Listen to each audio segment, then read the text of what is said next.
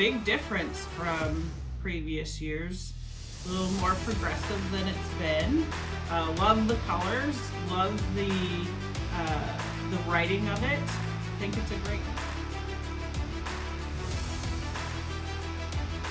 Oh, I like it a lot. Uh, I think it would look good on the back of the uniform.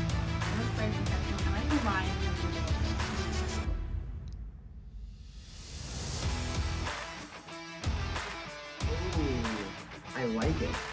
Also, selfishly, I like the blue in there, little Elmhurst blue.